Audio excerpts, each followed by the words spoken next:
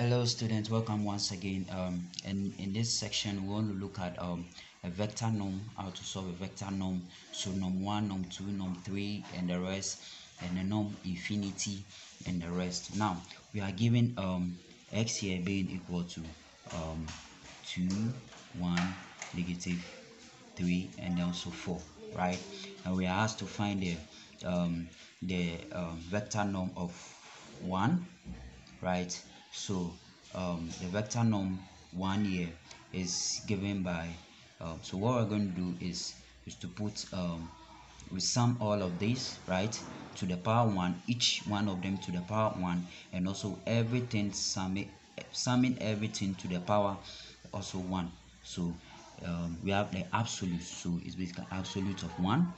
Then we go um, absolute 1 here, then absolute of that, then also absolute of 4 here to the power 1 but um, everything here is to the power 1 over 1 which is just 1 so we are just going to have um, 2 plus 1 remember it's um, absolute plus 3 then plus 4 right? And this is just going to give us um, this is just going to give us 10 right? It's just going to give us 10 now for the um, uh, vector norm of um, 2 is just um, um, this. So it's the same thing. We have absolute of 1 but this time because it's 2 it's to the power squared right? 1 year squared then minus 3 year squared then also 4 year squared and it's to the power 1 over 2 right? So that will be the vector norm for 2 um, and we are just going to get 4 here right? 1 and then it's absolute so we just have 3 squared which is 9 then um 16 here.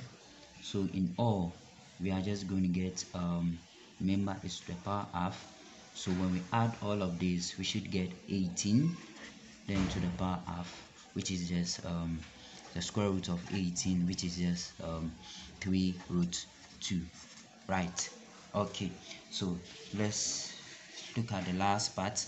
Now the last part we have um we are looking at the the norm of infinity right? So for infinity we just have the maximum of um, the vector x right? So the absolute of each of the values. So we have the absolute of 1 here then absolute of 1 then absolute of that then uh, we have this. So we are just going to get um 2 here 1 3 and also 4 so what is the maximum here so the maximum here is 4 and therefore this will be equal to 4 yeah. So yeah. That's all for today. Thank you very much for joining me in this section and i'll see you in the other section for um, where we look at the, uh, the vector norm also